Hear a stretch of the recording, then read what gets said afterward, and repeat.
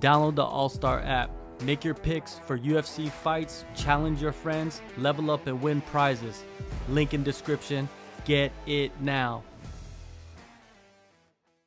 All right, so over the weekend at UFC 305 in Perth, um, one of the main card fights on the pay per view, Jairzinho Rozenstruik versus Tai Tuivasa.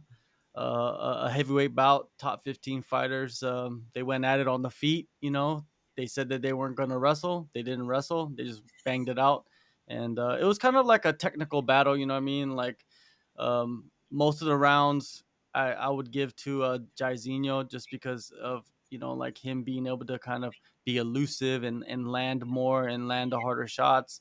Um, mm-hmm. But the the big story out of that is is the scorecards, right? So uh, one of the judges, his name is uh, ha- Howie Booth, someone that I've never even heard of before.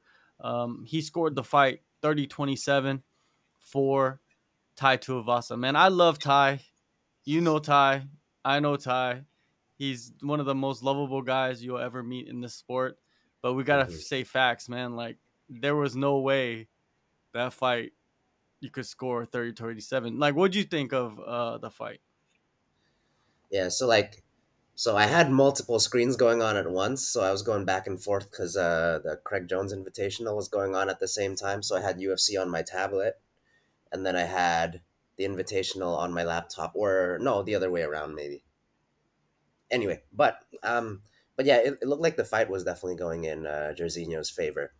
So like, and I I did like how it was so this time around, I don't know if they've done it before. They might have, but you saw the names of the judges next to the scores, and that was pretty cool.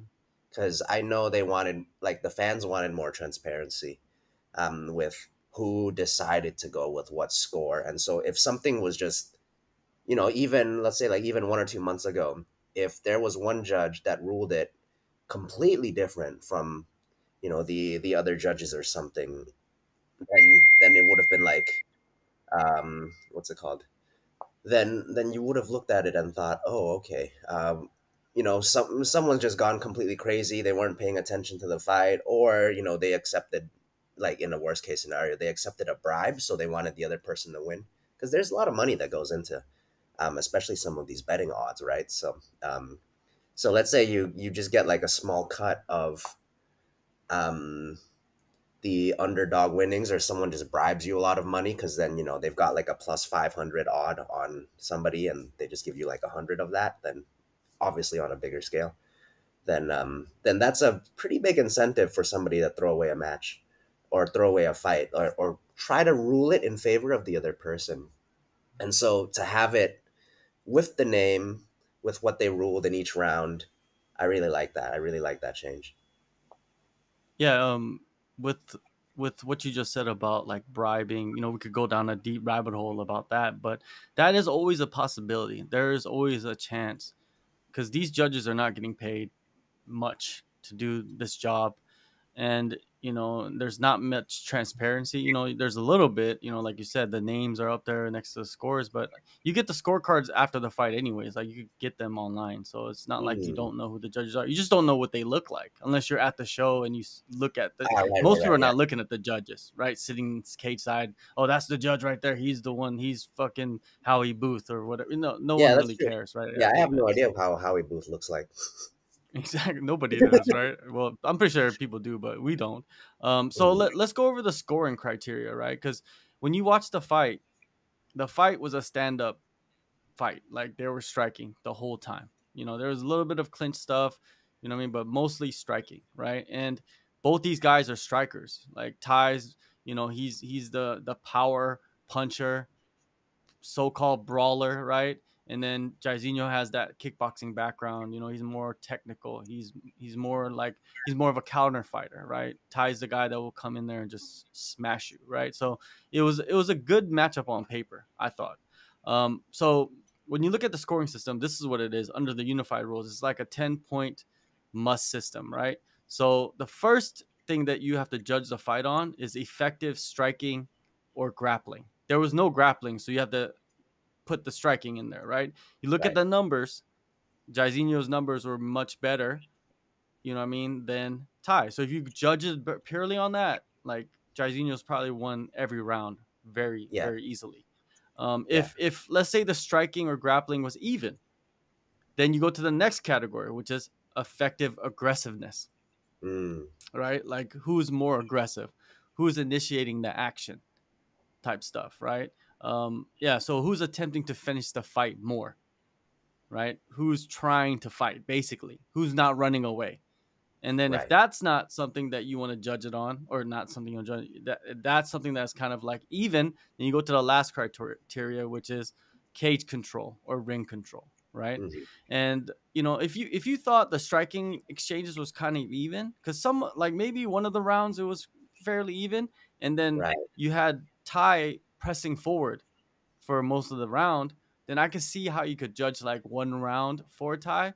But judging all three rounds for Mm-hmm. Yeah. for Tai, it's it's very very uh, it's alarming. Let's say Yeah. like this guy was in there judging fights, um, and then they took him right off the card. Like right after that fight, they they did not allow him to judge any uh any more fights the rest of the night because of course Mhm. you know what i mean if you're judging like that then you're gonna go into like these so-called more important fights and Yeah. you might fuck it up you know what i mean for these fighters um right. you know it's, for it's good that there's go ahead Yeah, I was gonna say because like for for how little they're getting compensated, the consequence of whether they make a mistake or not can be potentially massive. Because like these fighters are looking at six figure paydays, or like you know if they show up for the the fight purse to show and then to win, right? If they win, they double their money, and so that that's a pretty big deal for for the fighters.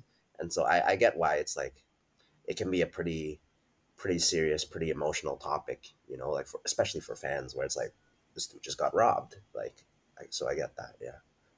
they should do this more often i think and you know and they should do it all around the world it doesn't matter where you are they should just like if if there's something fishy with the fighter or with the judge Mm. like even one round was just kind of like what you know what i mean Right. like you you gotta like say okay let's pull him out let's put a new judge in there because you just you just don't know what's going on you know what i mean there's always kind of like whispers about oh you know bribery and you know like fight fixing and all these things Yeah. and Mhm. that's that's serious allegations man It that is. you you're throwing out there if if if we started to like name names and like started to like make accusations right it's it's serious dude it's like you know that's kind of you know without evidence it's it's something you should never do to be honest Right. with you Yeah.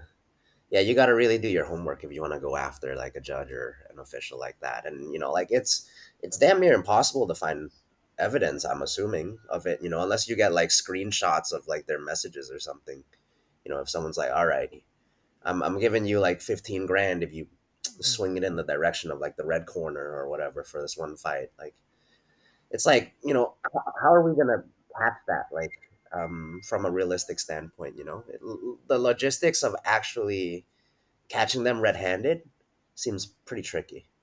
If if that is the yeah case, because in in the history of like mixed martial arts and mma i don't think there's ever been any scandal involving judges at all i don't Right. believe so right and i've been watching it for a long time but there has been in the past where fighters have been caught up in some issues, right? And even with the James Krause thing, we don't know what's going on with that, but that there's fight fixing stuff going on there, gambling, you know, insider information, all of that, those things are going on. So we don't know exactly like what's going on with that case right now, but we know that he's banned from Yeah. coaching, from Okay. being at events, from even have like I don't even think he has a gym anymore. Oh wow. Yeah, there's there's like proper movies that like are made out of this like very specific premise, right? Usually it's in like the form of boxing or something Mhm. where the coach will be like, "Hey, there's a lot of money if you take a dive and lose this fight." And then, you know, the the boxer just secretly places a massive bet on himself or whatever, like, Mhm. you know, anonymously, and then he just knocks the other guy out anyway and then takes the money and then just runs with it. And they're like, "Well, Yeah, what was it? Uh, Pulp Fiction. Remember in Pulp Fiction, um, Bruce Willis. Mhm. Bruce Willis Mm, was the yeah. boxer, and then Yeah, remember exactly. that part in the movie? And he knocked out the guy because he didn't want to lose, but he was paid to lose.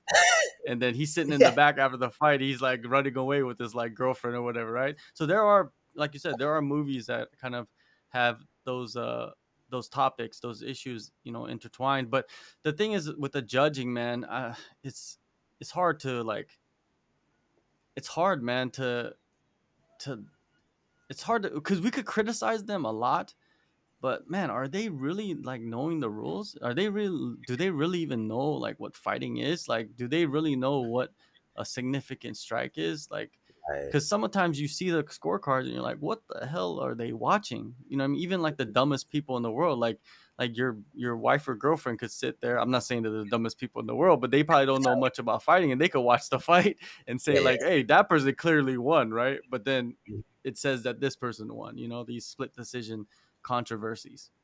Yeah, and there's probably there's probably just unconscious bias just from being in the game for so long if you've been officiating for years, right? And like whether and it's like whether your mind or emotions wants to play it or not, right? Like I'd imagine some people just pick favorites without thinking. And so if you got Mm. if you got a fighter you really really like versus a fighter that's you know that you think is an asshole um and like you try your best to officiate it fairly but if it's like super super close and you've got to give it to one person i'm assuming you're going to give it to the one you like you know for like or at least it's going to tip in that favor and so um there's probably like un- unless you can get a machine to um to just you know look at significant strikes at face value or whatever and somehow calculate those exchanges um, there's there's probably very little officiating that is 100% uh, free of bias that's i would imagine that's impossible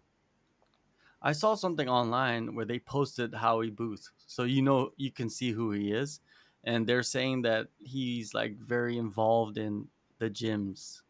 I think he's from New Zealand or something, and he's involved in the gyms and something in in the community Oh. outside of judging.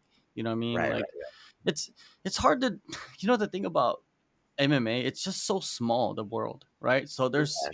like people people always talk about like, oh, you know, this person shouldn't do it because of this cuz there's so many conflicts of interest. absolutely It's extremely so many conflicts of interest. Like even myself, you know, like me trying to me interviewing fighters, like I have to like approach it from a neutral standpoint, right? And I do Uh-huh. all the time, right? But then I still Yeah. slip up during interviews, you know what I mean? I'll say like certain things that sound like I'm like, you know, boasting them or like Mhm. pumping them up, right? And, Right, right. and and because I know them a little better than I know maybe their opponent, right? Mhm. And that's just Yeah. me m- my mistakes, but like but that doesn't affect the outcome of the fight, right? right right It does not, right? So but like these guys, you know, it's it's it's everything's a conflict of interest, man. I'm serious. Like like Absolutely. managers, fighters, coaches, there's somewhere somehow they're intertwined, right? Like fighters Yeah. training at this gym and then leaving the gym and going to this gym and then now they're fighting against the fighter from this gym that they were at before and there's a conflict of interest there cuz the coach, right? He might have been tight with that fighter and this fighter's a new fighter from the gym and then they go in there. You never know, right? You just don't know. You just have to Mhm. like have faith in the people around you and that's why like certain gyms are so close knit because of this reason and they don't allow Yeah. people in right dana Right, white it's- was on uh he was doing the press conference today from uh the, the contender series and uh Merab had posted a, a posted that he got cut and he's like three weeks out of his fight or something like that title fight against sean o'malley and then dana white just exploded. He's just like we have the dumbest people in the ufc it's like why would you post that? You know Uh-huh. like he's you know he talks a lot of shit about boxing and he said like you know i talk a lot of shit about boxing but at least in boxing when you have a training camp nothing leaks. If something happens it stays in the camp right? Unless you like have a mole or something. Yeah. But in mma everything's like oh let's put it online. You know like i got a cut you know i got you know i hurt my leg today or you know i'm icing my nuts or something i don't know right? But like it, it, it there Mhm. is something to say about that but you know with with the going back to the judging is i don't know if ever it's ever going to be fixed. I don't think it's ever going to be fixed at all. Right yeah It's going to be this way. Yeah i i think have i no think that right i think the transparent in the moment um judging is a, or scorecards are about as as close as we can get to um, to something that you know at least holds the judges accountable. So if nothing else, like if they weren't taking their jobs seriously already, at least now, like you know, there's another reason to take their job seriously because there's a number that's attached, or there's a name that's attached to a number that like millions of people are gonna see in the moment. Um, Yeah. so like at least that's that, but I I wouldn't have a better guess as far as um, how we would actually improve that further because it's I it's think like we should have more judges because they don't get paid that much anyways, right? I mm, think we should have two more judges. Uh, my my my idea was like you should have a judge for each criteria, so they're only judging the criteria that they're I like looking at. that So yeah like one judge is one judge is uh, scoring effective striking and grappling. One judge is scoring effective gr- aggressiveness, and one judge is scoring cage control or ring control or whatever you want to call it, right? Or if you have five judges, you have one judge on striking, one judge on grappling, one judge on you know cage control, one on aggressiveness, and then you have one overall. Like they're just looking at the whole fight as a whole, the whole round, and just scoring it on that. And then you could kind of get a better understanding of like what that round looked like, you know. But I'm just talking shit. You know what I mean? Like it's it's probably not you know financially feasible, even though these commissions make crazy money. true true because then like the the big events would be able to do it, but then like the local ones would be like how the heck do we get like five judges, six judges, seven judges for an event But where some like regional shows they have five judges for for their events, so it's it's all it's all up to the commission or whatever the the event is. mm, But you know what I mean, and and also you know kind of tied into this is like there's some new rules that they've they're going to implement in November. Is number one is uh 12 to 6 elbows will be allowed now oh in cool fights, which was kind of stupid. Like it never it was illegal before, you know? Like if you went this like this way, it's illegal, but if you went this way, it's not illegal. Like what what are you talking yeah about, right? yeah But they weird finally fixed that. And then cool also the uh, grounded opponent. Like, you know, oh that's you're right yeah the the tripod game or whatever. You know what I mean? Like now you Yeah, yeah, can yeah. You're people aiming it so that you can't get kneed or kicked in like a certain position where like your hand just barely touches the ground because you're trying to win by a Yeah. DQ, basically. Yeah, yeah, yeah, yeah, yeah. You're playing that hot potato like with the with with the ground, you know, with the mat. Like yeah. hit me, no. And then you're like, oh, I got hit. Like we've seen it before in, in fights, right? hmm But I Yeah, think those are good good changes. Uh, also, I think, but the thing is, like they need to put uh, they need to put the knees to a grounded opponent in there. Like if you're on the ground and you're in side control, you should be able to knee your opponent in the head. Like to me, it should be legal Yeah. because side control doesn't really exist in MMA anymore. Don't you notice that? Right, yeah. It's mostly um top half guard or like you have to yeah, yeah, so like in in in the top position, you have to be in a spot where you can kind of pin somebody down with your legs. So like top half guard actually makes more sense than uh than top side control. Unless you have their arm and like, you know, like a crucifix or like a shin pin or something.